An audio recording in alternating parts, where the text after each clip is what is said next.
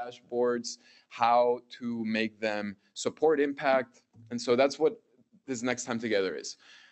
Helping you, or my goal at least for everyone here, is that you leave this room like you can better understand how to leverage and use dashboards. It's not about just creating a dashboard. Within a week, if it's just a dashboard, it's forgotten about, it doesn't matter. It's a whole bunch of wasted time, really, and, and resources is what it ends up being. So how do we effectively use uh, dashboards to support initiatives, business objectives, desired outcomes, performance, operations?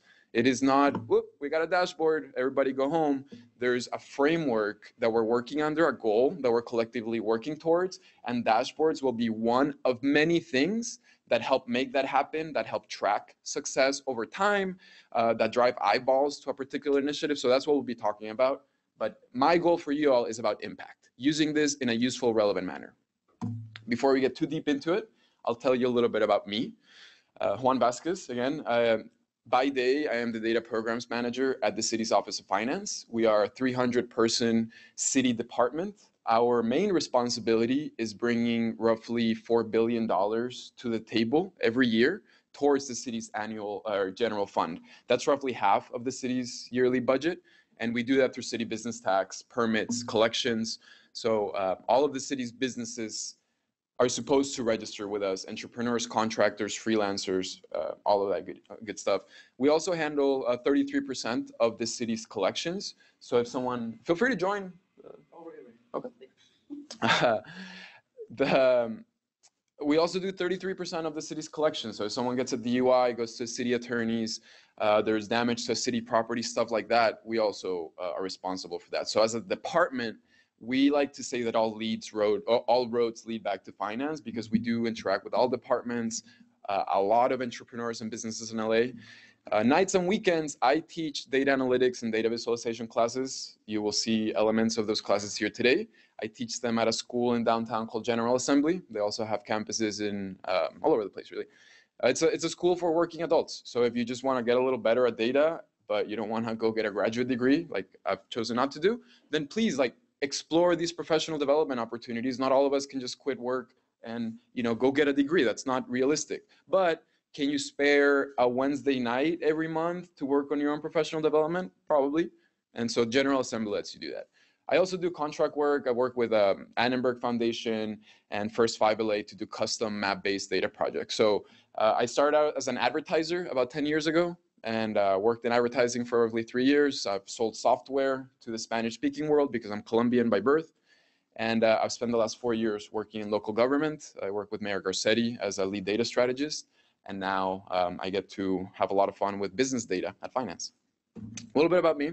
Uh, but it's important, the important thing there is I tackle my data projects from the intersection of all those experiences. So I'm a strategic communicator and a designer and uh, a, you know a, devil's advocate when I'm building my dashboards. And I encourage you all as either the the supervisors, leaders, managers, or the builders of the dashboards to approach all of your business problems from uh, kind of that intersection of experiences and uh, different flavors of, of you know what it means to be a human and do the work that we all do. Here's what we're getting into today there's two, four, six, like nine little buckets or lessons that we'll be touching on. Two of those are activities. Uh, the other three really are uh, small lessons where we will look at if you are in a place in your initiative where you think a dashboard is is really like the next logical step for your team to tackle, what's the intention behind that? It is not build a dashboard because the mayor said build a dashboard or the GM, there needs to be a business reason to do that. So how do we explore the intentionality in this? Um, once we've decided to build a dashboard, what are the ongoing expectations? Is it something that we look at once for a half day exploratory session with key stakeholders? Or is it something that every two weeks someone will have to reference? And what about all those dynamics that come with, with those discussions?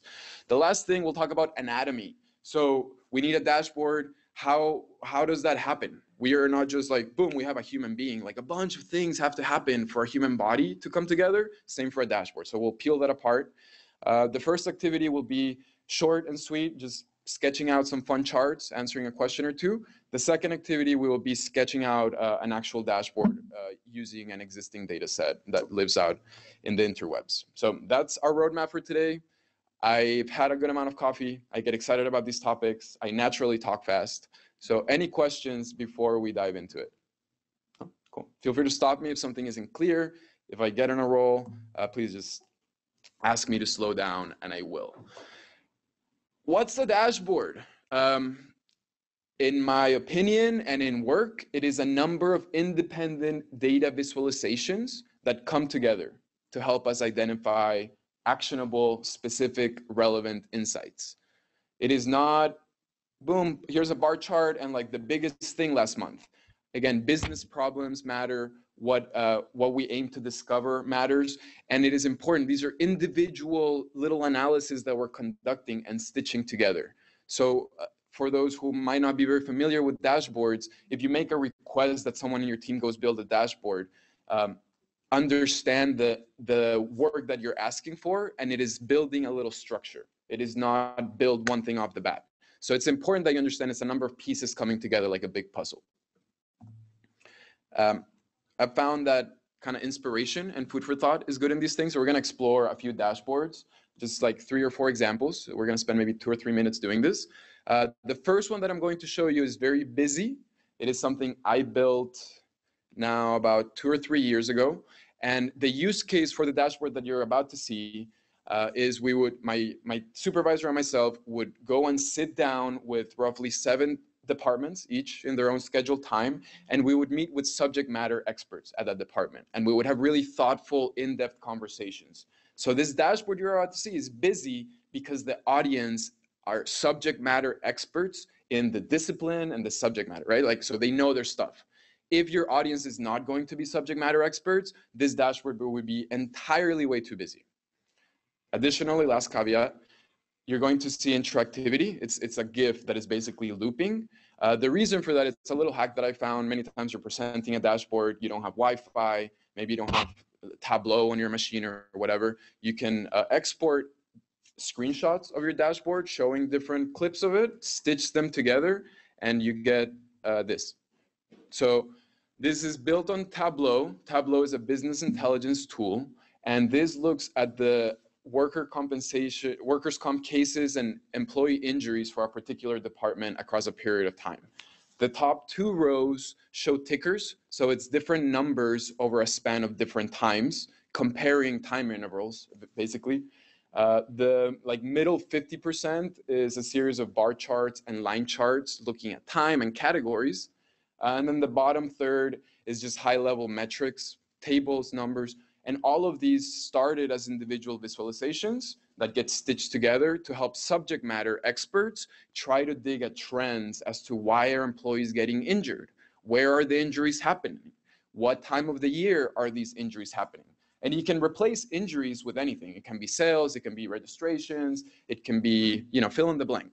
Uh, so that's one example. Also know that I will be uh, sharing this with uh, School of Data, so they will likely be emailing everything out to you all. Got a few more examples here. Uh, if you ever want uh, inspiration, I recommend you go to Tableau Public Gallery. Just Google that. And it's a world repository of dashboards built by people from all over the place. They have a, a visualization of the day. So it's uh, wonderful new things. This dashboard has nothing to do with government or workers' compensation. Uh, but if you want to figure out where you want to travel this summer, here's a dashboard for you. So if you want to go, uh, you know, assuming you're in France, you can select things in the middle. Like you really care. Sorry, give it a second. You really care about culture. And so we can play with that dial. Maybe we really care about nature as well. And so you see that results start surfacing uh, based on the criteria that I'm inputting. That level of interactivity is important in a dashboard. If there's no interactivity, then it, it's really an infographic. It's, it's a flat, static experience. Dashboards imply a certain level of user experience and interactivity. And you have things like, our, like we're seeing here, where if a user takes an action, the results change. That, that specificity in interactivity is really important. Here's another example, keeping it light. This is one of my own projects. Uh, last last year, the World Cup happened, and I was very upset that uh, ESPN and Univision and Telemundo were just reporting, you know, rows and columns of the countries. So I scraped ESPN's web data, pumped it into Google Sheets, uh, just like an automated flow. And this map right here tracks the track the eventual winner, uh, which is France. And so if we zoom out, you'll see that all of the countries except two, the first and second place teams are reds. And so as the World Cup progressed, um, I tracked this and shared it on Twitter. Uh, we see an example of bar charts to show categories, uh, high kind of sum aggregations. So dashboards can be very fun. They don't have to be super serious.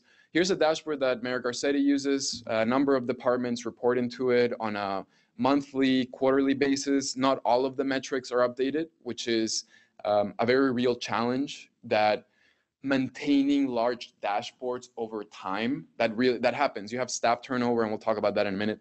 But um, endless metrics right? At some point you have to wonder how many metrics are too many. Uh, and the maintenance of this can definitely be a toll but it is important for a large organization like the city of la 45000 employees 40 plus departments 4 million residents and the list continues you, you need a lot of metrics to really understand what's happening uh, I got one more example for you. This is this is what I encourage you all to view as dashboards moving forward.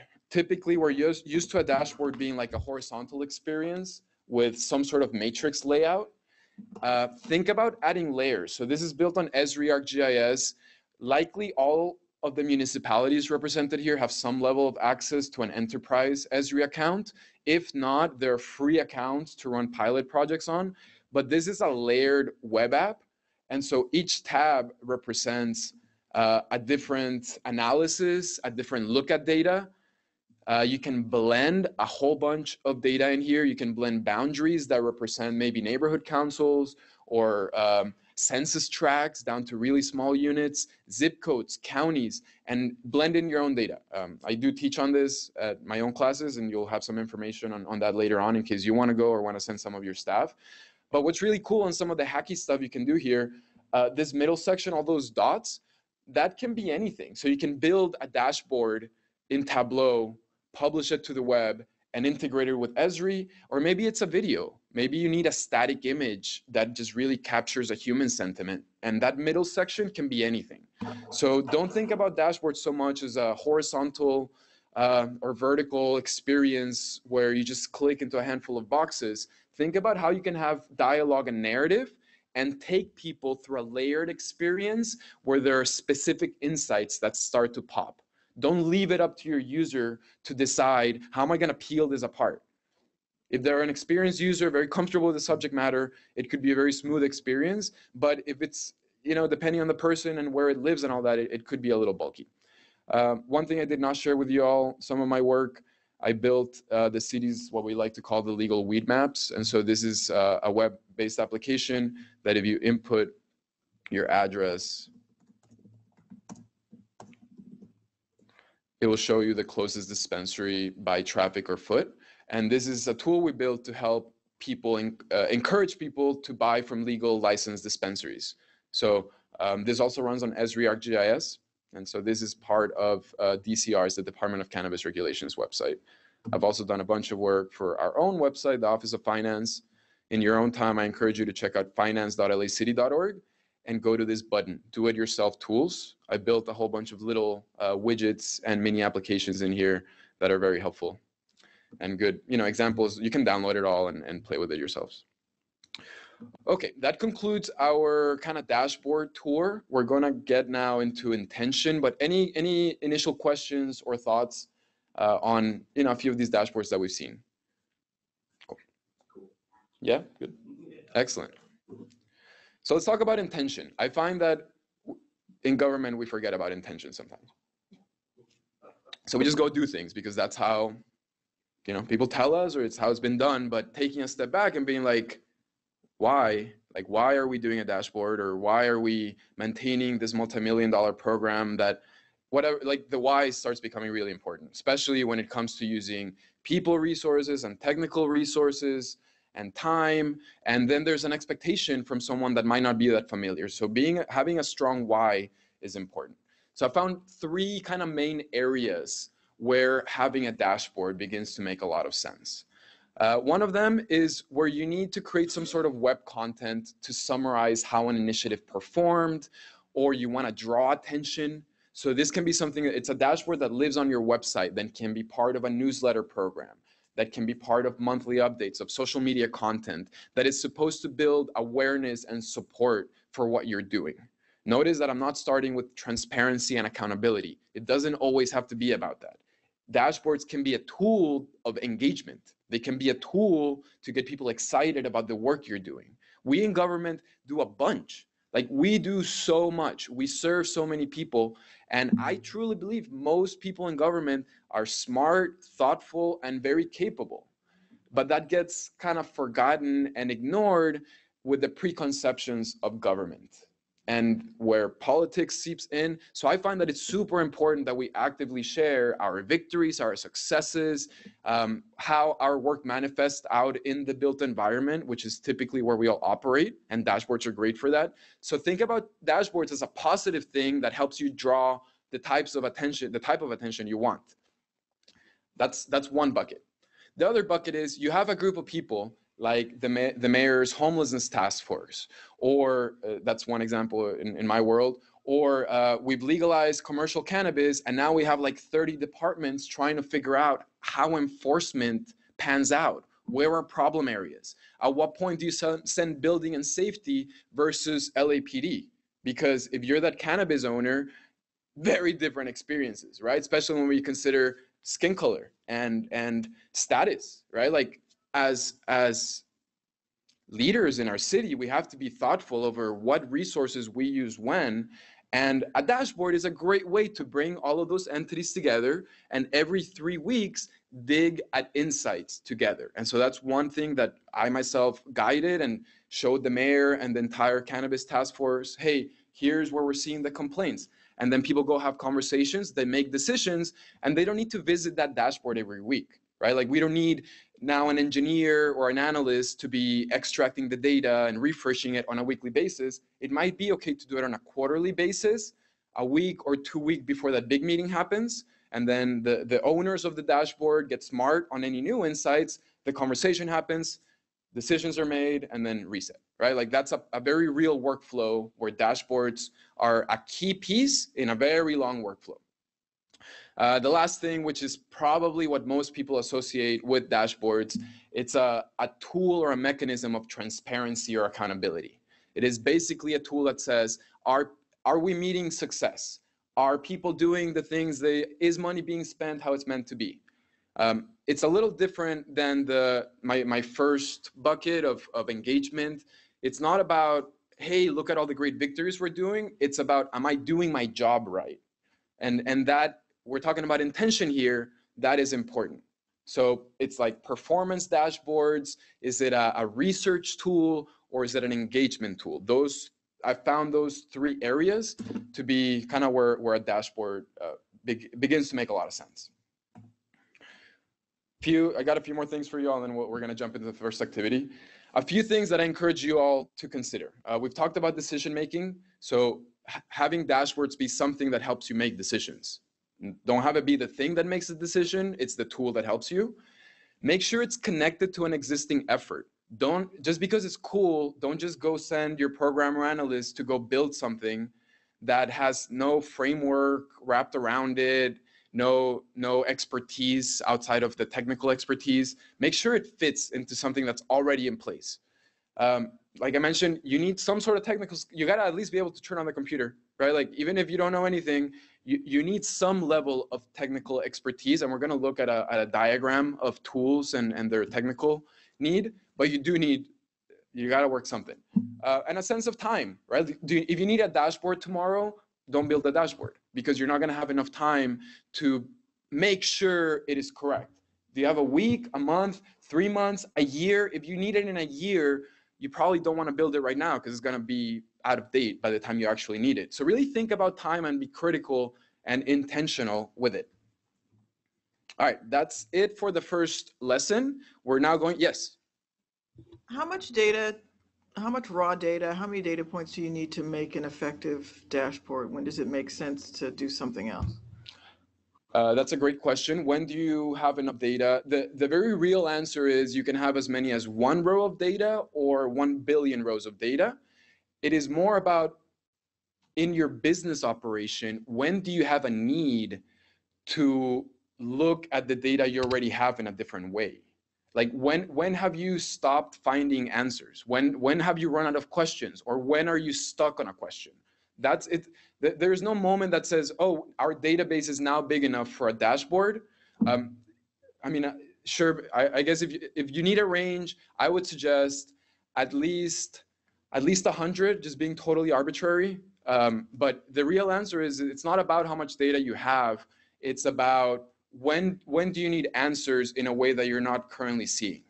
Uh, and, and we will talk about tools based on data size. You don't always need a Python developer if you have a 50 row spreadsheet, right? So we'll, we'll get deeper into Does that help a little bit for now? Yeah, I'm working with nonprofits and trying to teach them the value of this. And the complaint is always, well, we only have like a year we or we don't have much. Yeah. You know, they, it's, there's always pushback. So I'm trying to give them that answer. The, you know, then the default answer is if you got data, we can build a dashboard. If it's a matter of helping the entity and just getting them to take a step forward, yeah. if you have a spreadsheet, you have enough data. If you have a PDF, a piece of paper, right? Like anything you can get started with. Oh, any other questions? That's a great question. Okay, first activity. Uh, the first part of this, you just need your brain and your voice. The second one, you will need the sticky notes. And so I just need you all for yourselves to verbalize a current business problem where you think a dashboard could provide unique insights. And here's an example. In my data analytics class, in my free time, we do an exercise where we pretend we're Netflix and Netflix needs to figure out what show to recommend to viewers once they've finished an existing show. And so we look at the correlation of shows.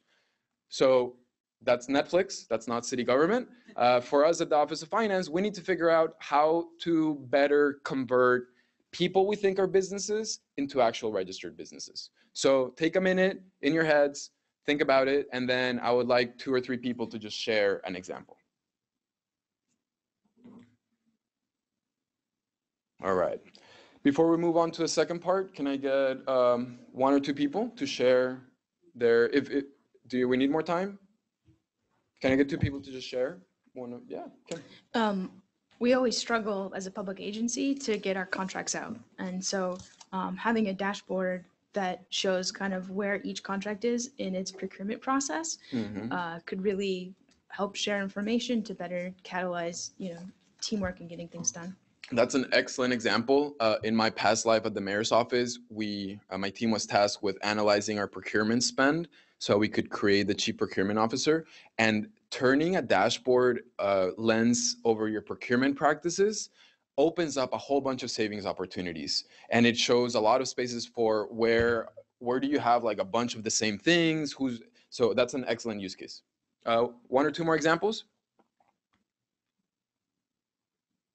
yeah uh, I work with a lot of health inspectors. Come, come a little closer to the mic so uh, the folks on the webinar can hear. Uh, we have a lot of health inspectors on the ground, mm. and we want to determine if they're doing good quality entry work and having a similar experience, or that each, say, restaurant is having a similar experience across mm-hmm. various different inspectors. Because mm-hmm. we want our inspection process to be fair and equitable to everybody, but we don't really have a way to measure how desperate we are.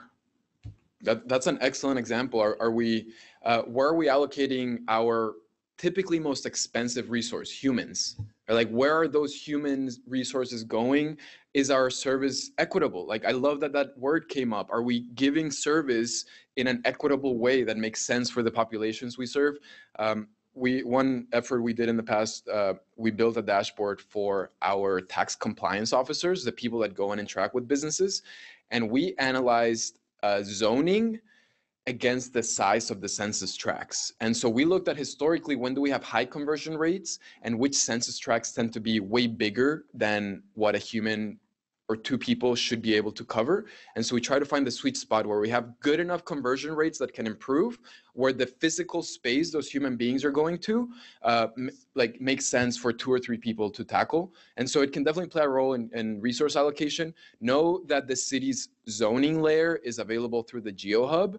And so if you ever want to know more about census tract size and is this residential or commercial, because many times we have functions that only need to focus on residential or commercial or industrial, the zoning layer can be an immediate resource right now that is totally available to anyone with internet that can you, you can use in some human uh, like built environment resource allocation. So thank you for that example.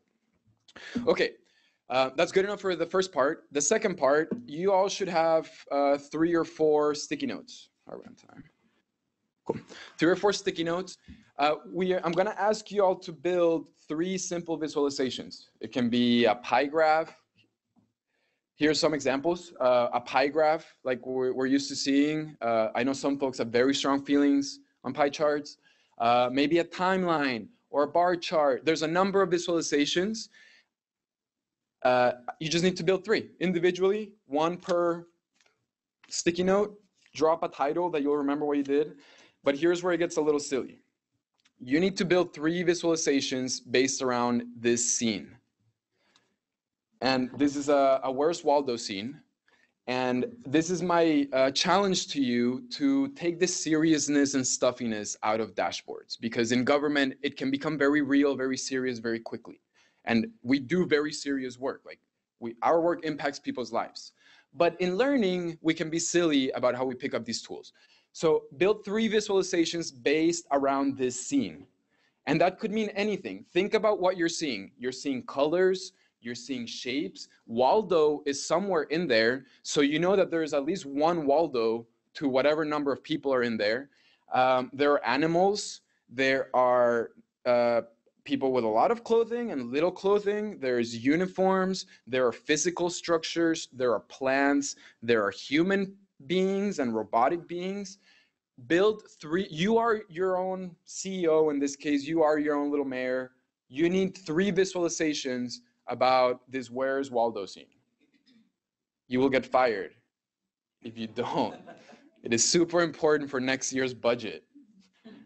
So you have about five minutes to build uh, three visualizations. Do not let yourself get stuck Okay, you're not being graded. This isn't going in the mayor's annual report later on in the year. Just push yourself to visualize three silly things.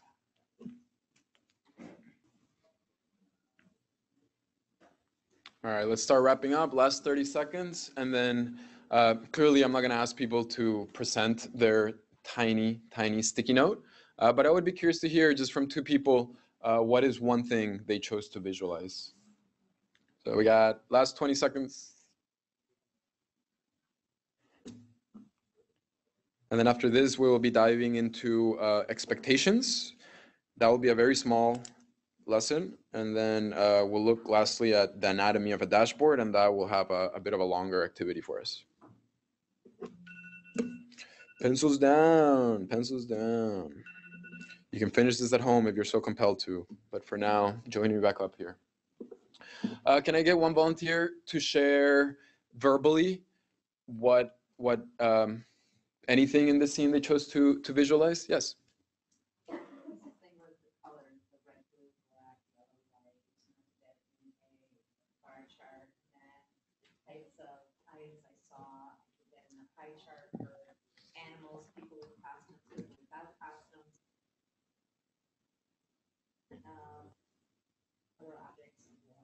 Nice.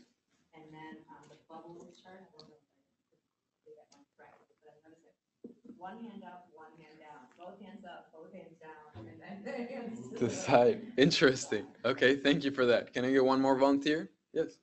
Um, I'm kind of, I'm a bit uh, confused by it, but I, I work on uh, um, ethnic minorities and, uh, and, uh, and white, um, people, and then I work on male and female personnel, and it's like, and it seems to me that there's a greater participation if you see of uh, men, especially men in uh, uniform, Mm-hmm. and uh, and also um, less participation female That's what it's based on, uh, in ethnic minorities. And also, I also looked at, uh, if we look at what the resources around here can be, and like, if you look at like food resources, Hmm. and the concentration of people around that. So that's, that's Very interesting. We need better gender equity uh, services at the Oswaldo health headquarters.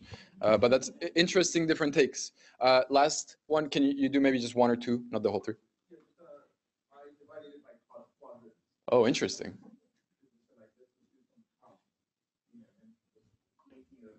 That's great. Did you find that there was more concentration in any one quadrant?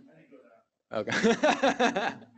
cool. All right. Thank you all for sharing. I appreciate you all entertaining in the. Um, we can be silly. We can have fun with the way we learn how to be better at our very real jobs. So thank you for being silly with me. We talked a little bit about that. You'll see this a little bit later. So, uh, any questions before we move on to the second point of, of expectations? Okay. Uh, and and the expectation part is a decision has been made to make a dashboard. We now have the intention for it. We know why we want it. We have some sort of framework or initiative where it's going to play a role in it.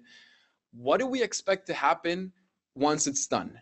Um, what does our audience expect to happen once this first iteration of the dashboard is done? As I mentioned in the use cases, sometimes every three three months you gather and discuss, and so every three quarters or every three months you need new relevant data. So in you thinking about what is expected of this dashboard, consider these three things. How often is new data even available? For us at the Office of Finance, we only get the, the amount of tax we collected once a year because it looks at the year prior and there's a particular time in the year forward where that metric is actually available. So if if the mayor wanted to know how much business tax are we collecting on a quarterly basis, that's not going to work because the data actually isn't available. So in expectation management for yourself, for your team, for your end user of the dashboard, which is typically not one and the same in the cre- like creation team, uh, just think about that baseline and use that as a guide in your conversations. So the request might be, I want to see every three months this metric. Ask yourself, is the data available every three months? If not, push back and, and it's okay. And then, may, oh, okay, maybe a lot of times the requests are like artificial numbers that just someone wants in a particular time frame. But if we probe at it, you realize that there's flexibility. So once we've determined how often data is available, we need to assess how much effort is needed. Many times we think, I want a dashboard, and so I need one thing, right? Like, boom, here's my dashboard. What people don't realize is that a dashboard might really be like 500 tables, right? And from those 500 tables, you need one column from one and a row from other, and you need a SQL query that asks uh, a server to retrieve and you know we'll, we'll dig more at that. So don't think of a dashboard request being one thing. Typically it's like a bunch of pieces of data that need to come together. Um, and this last point i think it's super real for us in government. Retirements are happening at a higher and higher rate. Uh, and that means that there's i think expedited turnover. And uh, at some point in workflows you might have maybe your engineer is going to leave. Maybe your developers who who pulls the extract the database administrator.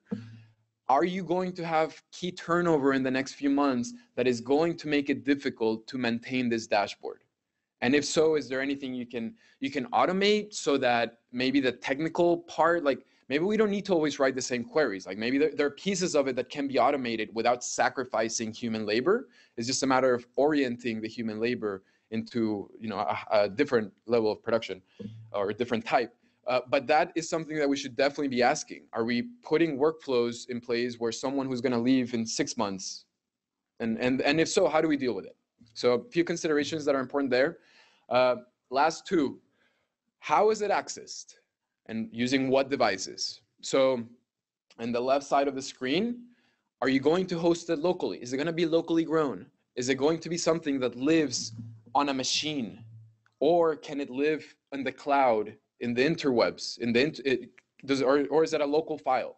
And there's security reasoning for that. Is it if it lives in the cloud then does it have to be accessed publicly? Because if you're going to build something in tableau for example you can only host in the cloud in two ways either totally publicly or you have to have a $10,000 server. And I don't think many small agencies have their own $10,000 dedicated Tableau server. And so in those cases, what do you do? Okay, maybe you can install Tableau Reader on the person's tablet or monitor or phone. Are they going to be interacting with this when they're driving from one point to the next and they have like eight minutes and so they just want to check metrics on their iPhone or their Samsung? Or is it a tablet? Or is it their big screen monitor at their office where they're going to have three uninterrupted hours to probe? I don't know you all as the the leaders in an organization or the creators of things uh, those are the types of questions that inform how a product is created. How will it be used? Maybe you need a, a i mean i hate flat pdfs but maybe you need that to accompany this one-time dashboard. And then you you need to like play out all of the scenarios and how this thing will be used uh, and that's determined by your audience. So really think about it what devices does it need to live on? And and uh, you know again does it need to like be available in a computer in a phone or a tablet? Very important considerations. Not everything just boom is automatically responsive. I have built things that are too bulky to fit a phone. They weren't designed for a phone. They were designed for a, a group discussion around a big projector. So really think about that end use and how it will be played. And, that, and that's it for expectations. It's just how often is data available how hard is it to get it? Are key pieces of my team leaving? And how is this all going to be used? Very important.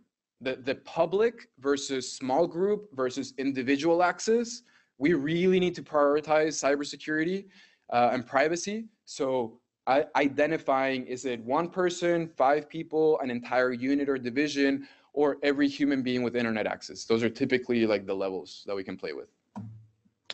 Let's talk a little bit about anatomy where are we on time? Yes, we have about 35 minutes. Kind of, 30. Uh, dashboard anatomy. But before we jump into thinking about dashboard anatomy, just uh, close your eyes for a second and let's think about our own anatomy. So think about if you have your hand, uh, is it just your hand? Or is it composed of tiny bones and skin and veins and blood um, and all of tiny pieces that make our hand be our hand. Um, a little more meta and philosophical, but what about thoughts? Like, are thoughts part of our anatomy? Is our intention part of our anatomy? I think that past a certain point, those intangibles become a part of it. So that's what we're going to play with. When we request a dashboard or want to build, you can open your eyes. Don't fall asleep on me. when uh, when we're saying let's go do a dashboard, like how do we piece that literally together? So let's think about this. Uh, just this uh, flow that you're seeing starts in the top left corner and ends in the question mark. And so take a second, read through it, and then we're going to break it down together.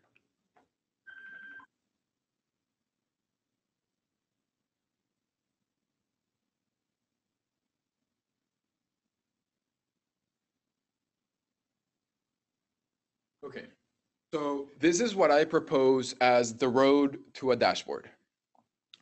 As I've said before, intention begins this whole process. So a literal verbalized business problem that is one or two sentences that you can share with a teammate, with a supervisor, with the cafeteria person who knows nothing, with your spouse, with your roommate, with your dog. Two sentences that can just be quickly shared that if the person speaks the same language as you can understand it without them being subject matter experts. So once we've verbalized our problem and and uh, have a, a, sense of what we want to do we got to go get the data. And as I've, I've mentioned just because we request a dashboard you know that it's not one thing. It's many many tables rows columns coming together. So we we have a verbalized problem. We go get our data. Great. We got our engineers or our open data portals or our intranet, and we now have, uh, in my case, when I, I built the city's real estate portfolio of city-owned assets, we had 55 different data sources, 55 different files, different standards. Some were totally full, some were empty. Crazy project. But we got our data now. We got our data. What do we do? Well, we go explore. We go take a stroll around our neighborhood. We see how many columns are in each file how many rows. And I'm sharing this with you. Most of y'all here are probably not going to be doing this work, but you're going to be asking other people to do this work, or you're going to be encouraging the organization to do portions of this work. And so this is the part where you need to understand what a dashboard entails in like the literal way of getting to a dashboard. So we've explored our data, we've now cleaned our data. After the data's clean, you go to pen and paper. So we're at a point now, in, once we're like at the end of, of the first row, where we're going to finally start thinking about what does this dashboard look like. That is informed largely by what your data shows you. So maybe you start this process thinking you want like five maps, but then you realize that maybe two maps and a timeline and a chart or a bar line is what you need because that's what the data allows itself uh, to present. So we have a business problem, we get the data, we explore it, we clean it, then we sketch what we envision our dashboard to be. That's the activity we're gonna be doing in a minute. We're gonna explore a data set together, and we're gonna quickly sketch together what we envision a dashboard could be. Okay, so we start with pen and paper uh, because it is a time saver, not because we wanna be artistic, but because it is uh, wasteful time-wise to jump into your screen and start trying to design things as a brainstorming pathway. It is way harder to be like, oh, let me change that. And now I gotta like resize. And you go down very deep rabbit holes. I found that pen and paper is the fastest way to get common kind of ground and agreement on the direction of a dashboard. So always sketch before you take it to a screen. So at this point, uh, we're at the end of the top half of this kind of dashboard deconstructed journey. We have our clean data and we have a sketch of our dashboard. Now we need to decide what dashboarding tool we will use. And that's, that's gonna be the next slide where we're gonna get a sense of the universe of dashboarding. Uh, but this is important. Notice that you don't clean your data typically in the same uh, environment where you prep your dashboards. Sometimes that happens if you're using Excel or Google Sheets, but if you're using Tableau Esri, Microsoft BI, you're gonna wanna clean your data before you pump it into those tools. I advocate for that. I found most data practitioners do that. Um, some of these tools allow for some level of data cleaning, but it, it, it is more cumbersome. So uh, keep that in order. Let's say we've decided with Microsoft Power BI or Tableau, now we're going to build the individual visualizations like we did with our friend Waldo. So that's a key part of the dashboard. You don't just build your visualizations into the dashboard, you build your visualizations and then you stitch together your dashboard. Which takes me to, we have a dashboard. It's done, it's beautiful, it's wonderful. Then we, we gotta present it to a group or we gotta teach a group how to use it for them to use in their own time. So there's another human component. It starts with a human component and kind of ends with a human component. So once it's been presented or the users are taught, then that's kind of like a your own adventure? Is it a quarterly thing and then it's a separate workflow? Is it something that just lives on your website for a year? I don't know. Uh, but this is what I propose as a great framework for when you're thinking about getting on a dashboard project. These are the typical steps that guide that. The, for example, the way we do it at the Office of Finance, we have a data engineer who provides us with the Excel file or CSV file uh, in my case, I work directly with Zach and a few other people, and he writes the SQL query based on the criteria given. And he is the most technical person. He's extracting the raw data. From then on, it's either people like me who are not a data scientist, but I can work with Python a little bit, and people that have very little data experience doing their own reporting.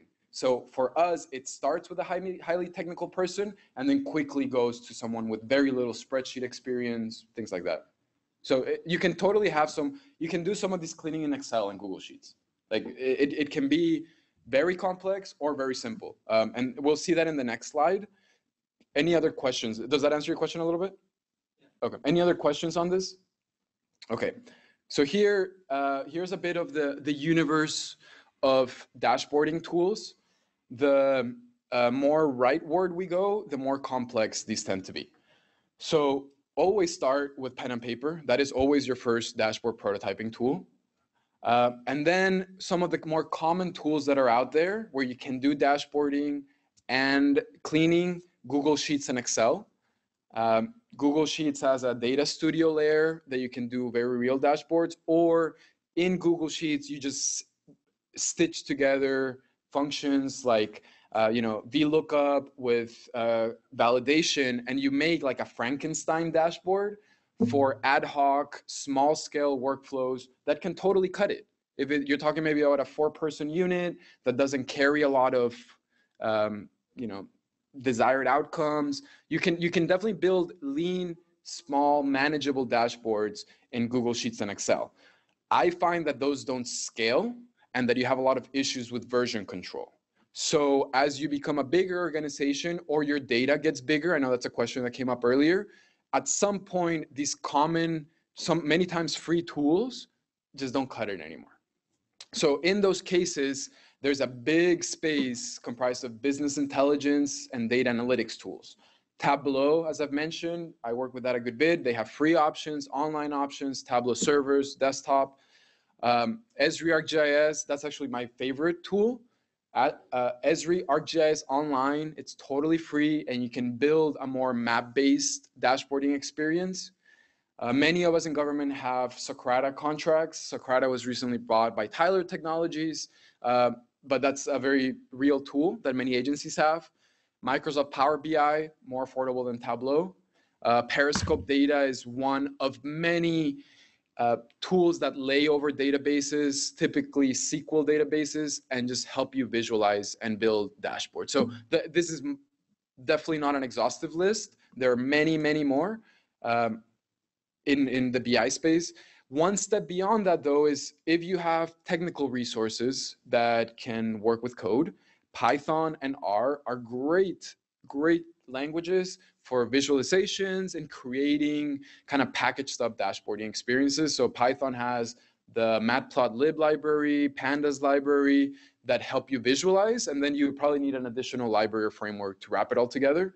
Uh, but that code vertical is, is by far the most technical, of course. You don't need to live there. Like most organizations can build great dashboards without having a, a Python developer. Any, yes? What Esri online tool did you say was free? ArcGIS, ArcGIS Online. It's excellent tool. The city's GeoHub runs on it. Uh, there, a lot of their conferences happen in Southern California because they're based in Redlands, and um, it's it's a great tool to like try out and pilot phase and, and like scale up. So, any other questions on this bit of a layout? Okay, our universe. All right, we're coming up on our last 25 minutes, uh, so we're gonna skip this. We talked about it. We're gonna jump into our last activity. Uh, before that, though, I want to feed your brains with a little bit of thought on on sol on colors and symbols and shapes. Uh, those elements make up dashboards, and so uh, I encourage you to challenge your definitions of color. Blue isn't just blue. There's a wealth of tones and transparency and gradients that you can you can play with the idea of solid colors. Uh, additionally, be simple in your shape selection, I find that many times icons are like people gravitate towards icons because they're shiny, but they create noise. So eh, unless you have a lot of data features, I encourage you to stick with simple shapes, starting with circles. Continuous soft edges create less noise than hard edges like squares. Um, and so don't use symbols unless you have a lot of data and you're at a point where you need to further categorize how you visualize that data.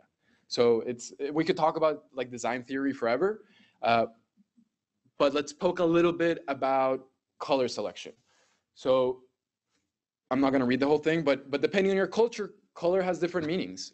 And so don't just assume we we live in a highly diverse community, right? Like people from all over the world, and it's a massive city, massive region. Uh, make sure that you're aware of the color selection. And so, uh, one thing, being government, we have to embrace accessibility, or we get sued. Like for real, people get sued.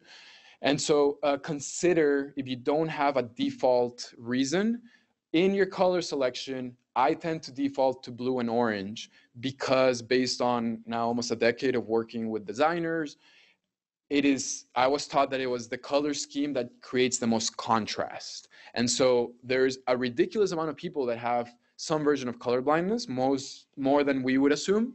And that color scheme, blue to orange, is the one that I've been taught generates the most contrast. I'm not colorblind, so I can't prove it, uh, but that's the default. So um, consider that colors have different meanings and how color impacts accessibility.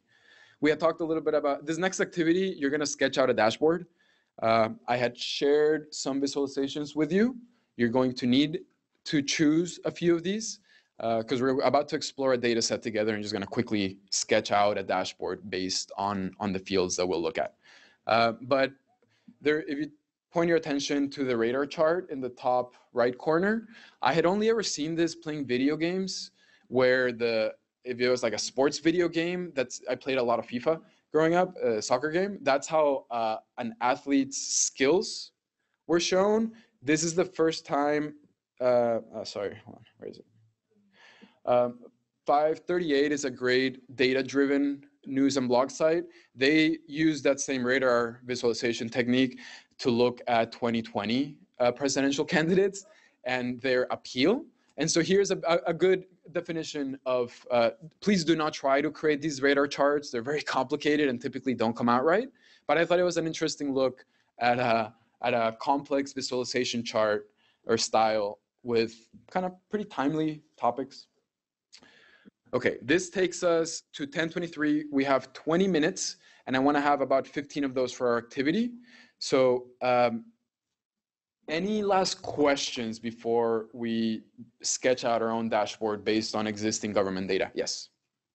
Um, uh, can you recommend like a site where we can actually, um, you know, um, see like samples of like really good dashboards? Because we found, we find that in our, in our organization, that's usually where we get stuck is like these designs. Like often, you know, there's no problem with creating the data. We have good Mhm. analysts that can create those data marts and all that as far as source of data, but we usually get stuck with the design because we're business, we're systems analysts uh, by skill. Yeah. So we don't really have those design, design. whatever, um, design uh, skills. So, you know, we either just gravitate to pie charts or bar Sure. charts, vertical, horizontal bar I hear you. charts, you know, so um, oftentimes our dashboards just look the same from one thing to another. And, you know, so we want to make it look um, aesthetically pleasing as well to our users, but that's usually where we get stuck. I hear you. Uh, so I, for me, I, Tableau Public Gallery is always a great place to start. You don't have to build in Tableau. You maybe you build in Microsoft Power BI. Oh, this is in French. Sorry. Tableau Public Gallery. People from all over the world are publishing up to it. Uh, additionally, let me give you this resource. Hold on.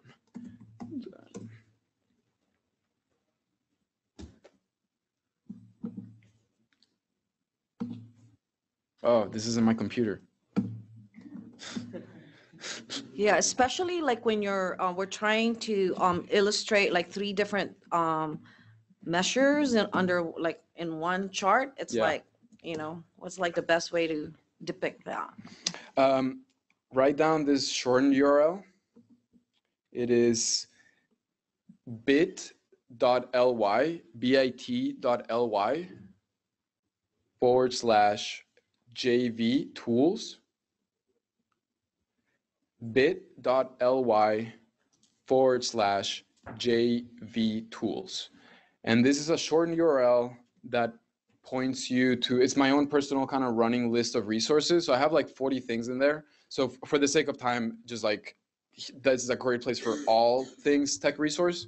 Um, additional URL, so bit.ly forward slash JV tools. Additionally, bit.ly dataviz in LA.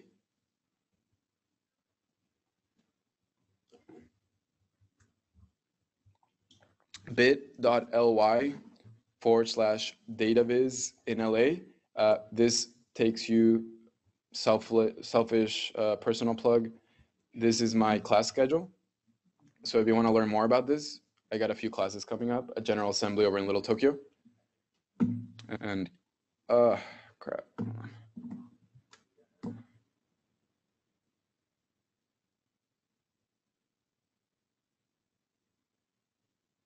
There we go. Okay, so let's jump into uh, any last questions before, because we're, we're definitely coming up on time. Okay, so this is where we're gonna, yes. Oh, for sure, yeah. Okay.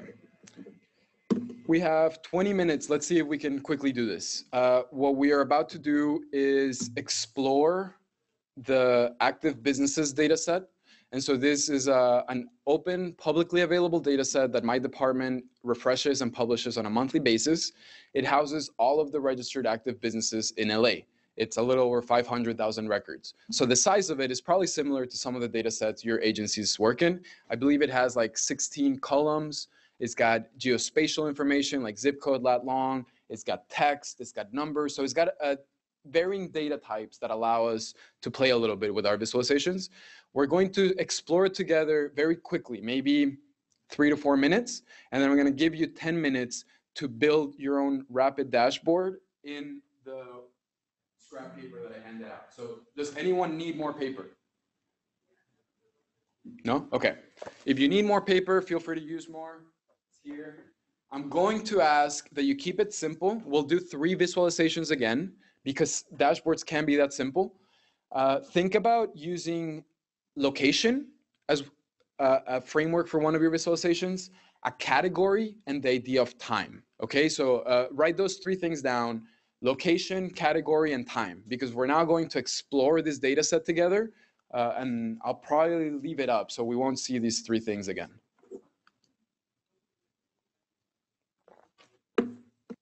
Location, category, and time. Try to play with those three ideas in your visualizations. In government, we typically have those three kind of data types, uh, zip code, lat long, address, council district, uh, or some sort of categorization or actual timestamps. And uh, the data set we will use is one I'm very familiar with. Uh, I've found people really like it and has a lot of uses. It is available through data.lacity.org. This is one of the city's open data portals. It is a great example of what a municipal open data portal can be. As soon as it loads. Uh, this one is like the, the open data portal of record, but know that there's a second one, geohub.lacity.org, that prioritizes spatial data. So uh, that's, but it doesn't have all of the data that this portal has.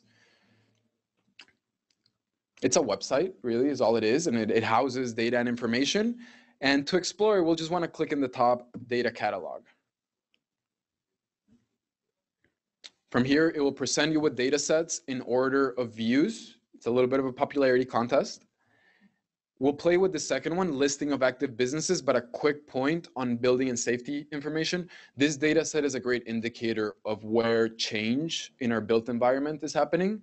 So for folks that do work around uh, displacement or beautification or things that impact either new or long-standing business owners or homeowners, this data set can provide some really unique flags in where change is happening in our very large city. That's a separate conversation though. So let's click into active businesses. And we're gonna explore this together for about two minutes and then um, we'll start sketching all data sets that you access through an open data portal will, will first land you on this type of page. This is called a primer, and it's meant to provide a summary before you're like inundated with data. It gives you a brief summary of what you're looking at. Notice that it will tell you what agency owns it and how often it's updated. If any widgets or tools or applications have been built with that data, this application here is an example of that. So this is something we built for our website at the Office of Finance that helps business owners figure out what their account number is so that they don't have to clog our phone lines for a very simple question. What's my account number? So here they can type in their business name or DBA. Ah, I got to renew my registration. I should be in there. Uh, and so one example of how you, this is called a data lens page. It's one of the features offered by Socrata. And so it sits on top of an existing data set. And so it's just a, it's just a, a really easy way to segment and explore a raw data set. We're back to the primer now. Notice a few more things about this data set. We already talked about when it's last updated. This is very important. I like to not work with things that are outdated. Um, you will also want to check how many views. You know, typically if it's an older data set, you want it to have a lot of views. How long has it been, or how many times downloaded? And this is very important. How many rows and columns? This gives you a sense of the real estate. Is it huge? Is it kind of big? Is it pretty small? Uh, and lastly, you get to see all of the columns that we will soon see. So let's explore this before we go into the spreadsheet view, which can be more overwhelming. We have 16 columns and we have things like an internal account number. That's a number we create in the Office of Finance. Or actually, we have a column name, a description, and a data type. Data types are very important because they dictate what can and can't be visualized. You cannot aggregate letters, right? Like, what's A plus B? Unless you assign it to a number or a numeric value, it's, it, it's not gonna work for a computer. So it's important to consider things like this. Uh, so let me call out a few unique columns. Uh, notice that there's a business name and a DBA name. Sometimes they're different. Sometimes DBA is blank. Notice that we have a specific complete street address, an individual city. Many times we're within the city of LA boundary, but it might be cited as totally separate cities. We have a zip code. It might or might not have the four, five plus four. It might be only the first five. Number of things there. We have a mailing address, which is different than our business address, right? Business owners don't always live in the same place they do work. We have a NAICS code, which is a, a it categorizes the business type and business service. So we have that as a number and as a word description. Then we have a council district, which is a bureaucratic boundary. We have 15 of those in LA.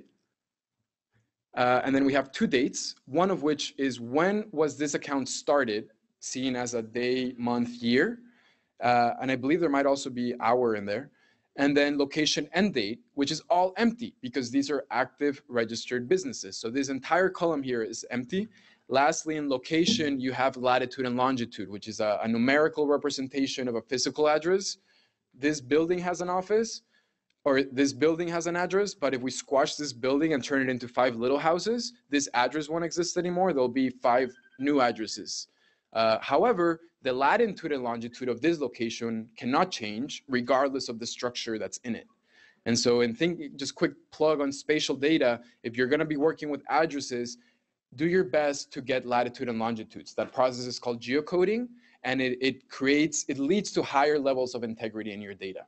So if you can work off latitude and longitudes, that's great. Okay, I think I've talked too long. We might not have enough time to sketch. So we're gonna explore the actual data for two minutes, and then you have seven minutes to create three sample visualizations based on the little bit of data that we're gonna see. You come up with your own, just like with the Waldo stuff, have the freedom to decide what numbers might be what. Uh, but let's let's look into this. I know you all have screens on your computer, so take advantage of the proximity of that. The location number. I'm just gonna scroll slowly and let you all. Is the location number unique to that business, or could there be another business at that location? What's like the unique identifier? The, it, it's that that location account connects to the specific business location. So if you're a, a, chain that has three locations, each one will have its own location account number. And uh, there's something in the way that number is created that bundles them all together under one entity. Is the NAICS then, like if a company has three different locations, would the NAICS be that company? No, that's the business category. NAICS, NICS code is what type of business service do they have? I'll scroll a little bit more. We see the address. Notice that DBA is pretty empty. We see zip codes here. Mailing address, location description. So, so remember, we want to create three visualizations. One of them should play with the idea of location. The other one should play with the idea of time, and the other one with the idea of category. So in thinking about location, maybe it's a map of the entire city with a bunch of dots, or maybe it's a zip code, or a council district, or a specific address. Um, so just take the time to sketch out three things. Fill in, if you have questions, fill in the gaps with your own answers. Okay, just choose three of these columns and stitch together uh, bit, prioritize one of them since we only have three. Prioritize one of them and like just sketch it out in in your own dashboard.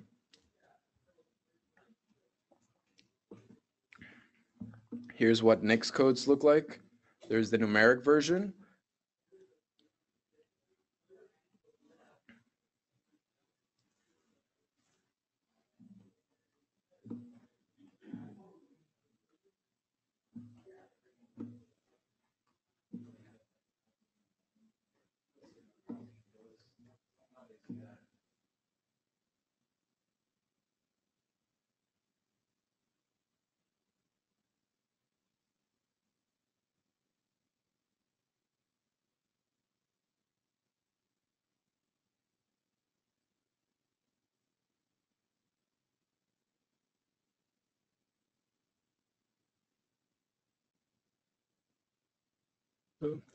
Here's a good look at some of, so here you have um, some location information, some category information, uh, time information. All right, let's start wrapping up. Um, I appreciate everyone that followed along. If you didn't finish, it's okay. Uh, it's 10:42 and I know there's more sessions starting, so I just want to have a chance to wrap up with everybody. Again, I, I teach some of this stuff in my free time, so if anybody uh, would like to join, or better yet, send send your staff. Um, you know, I, I I encourage everyone to be as data literate as possible. It just helps our city and public entities be better. Um, I hope you all got what you expected out of today. I hope there were actionable, useful learnings. Um, there's most definitely an entire lane of conversation and how to effectively present dashboards, um, things like that. That you know, time constraints. I, I thought it was a little better to focus on the beginning part of the process because I find that in government we put a lot of emphasis on the end, but then if we don't think about the beginning enough, uh, it just becomes a pain. So um, there's more to talk on this topic. I encourage you to seek out more resources. I gave you one of the links wrong. Uh, the correct link for all of the web resources is as follows. I will include it in the presentation. It is bit.ly forward slash tools JVDTLA. So it's very close to the other one. Um, I, I've just, version control is an issue for some of us. Uh, so it's forward slash tools JVDTLA. Yeah, because that's where I teach mostly. So forward slash tools JV DTLA. Uh, I appreciate your attention, your time, your ears, your brains. I hope this was helpful and useful. Make the most of School of Data uh, and have a great day. Thank you for your time.